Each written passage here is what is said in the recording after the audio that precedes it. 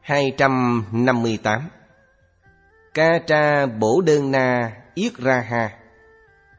Dịch quỷ giữ vía. Kệ thủ phách kỳ xú đại ngạ quỷ. Đông Tây Nam Bắc các diễn ly. Thực thỉ ẩm niệu khổ can kiệt. Tạo nghiệp thọ báo nạn tự khi. Nghĩa là Quỷ đói giữ vía rất hồi thụi Đông Tây Nam Bắc đều xa lìa, Ăn phân uống tiểu khổ cạn kiệt, Tạo nghiệp thọ báo, tự gạt mình.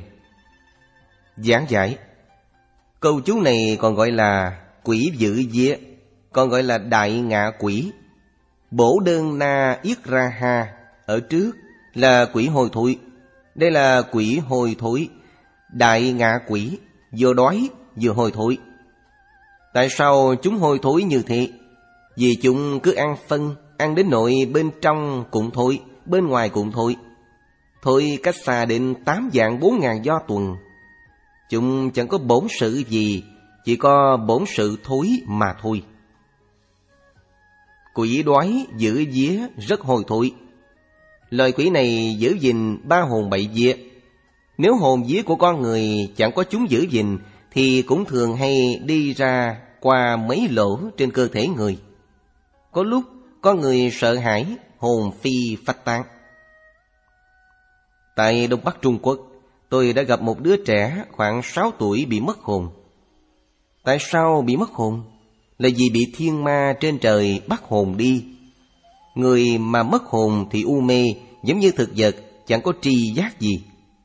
Tuy cũng ăn uống, đi đứng ngủ nghỉ, cũng nói được, nhưng chẳng có trí huệ, giống như người máy vì đã mất hồn vía. Mà dường trên trời quan hỷ đứa trẻ này nên bắt hồn vía của cậu ấy đi.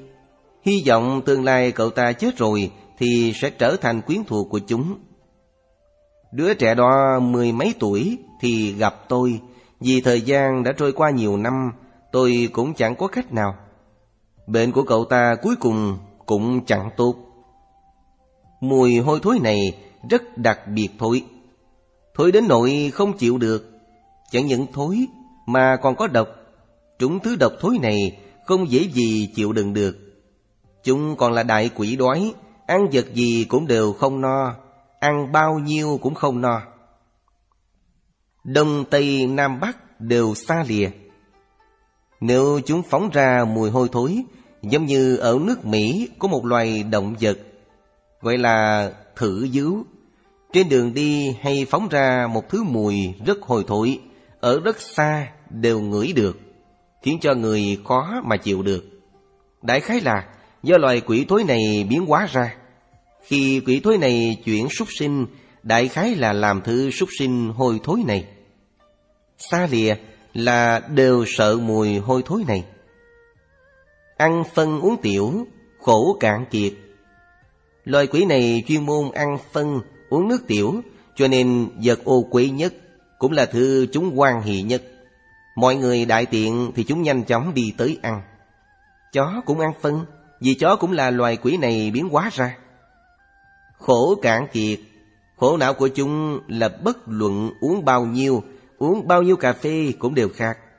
Suốt ngày tới tối đều muốn uống cà phê, uống trà. Uống xong, ly trà cũng không rửa, để mọi người đi dọn dẹp. Đây đều là hành vi của quỷ thối các vị. Chẳng phải là tôi giảng lời tiếu cho các vị nghe. Nếu ai muốn uống trà, uống cà phê Đừng để nhà bếp bày hay. Bằng không tương lai sẽ biến thành quỷ thối. Mặc dù hiện tại chẳng phải là quỷ thối Tương lai đều sẽ làm quỷ thối Vì quá bày hay. Mình phải giữ phòng xá sạch sẽ Đừng để người khác buồn phiền quở trách. Người tu hành ở đâu cũng đừng để tổn phước, đừng làm cho người khác buồn phiền. Bạn muốn uống trà hay uống các thứ, uống xong phải rửa, dọn dẹp cho sạch sẽ. Không thể nào uống xong không rửa ly, bạ đâu để đó. Người tu đạo, lúc không phải là giờ ăn cơm thì không nên xuống nhà bếp. Suốt ngày tới tối cứ tìm vật ăn, tìm vật uống thì tu đạo gì?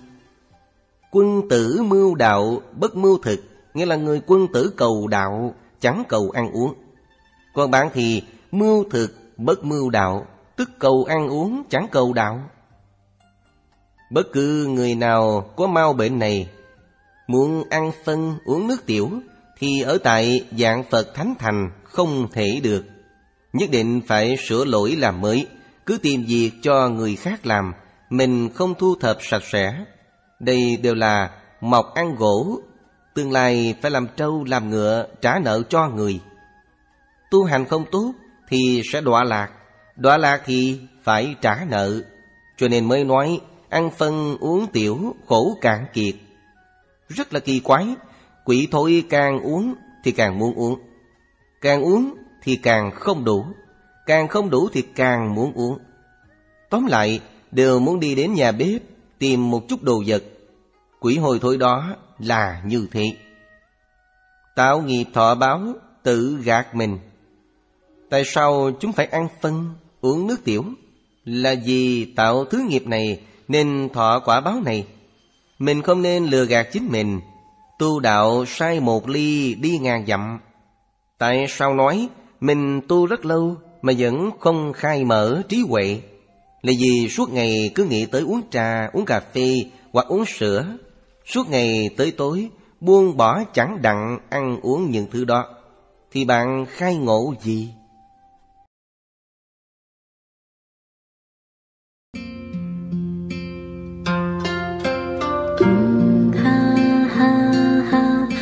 三摩地所